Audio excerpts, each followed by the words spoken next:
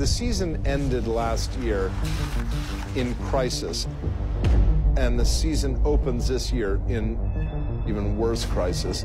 What happened? Mr. Reddington, you're lucky to be alive. Reddington disappeared. We don't know where he is, who took him. He's in trouble, Elizabeth.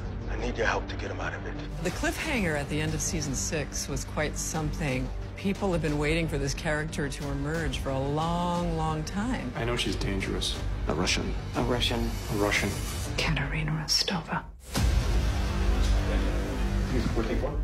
There has been a lot of mythology that's already been presented about Katerina Rostova. This is who my mother is to me, an aura that surrounds me, for better or for worse. Now that Katerina Rostova has entered the picture, I think that's going to dramatically alter Liz's life forever.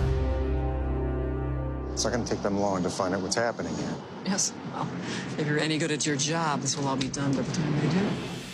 I think this show just keeps getting better and better every season. You're never quite sure on our show what your firm footing is or if there is any firm footing.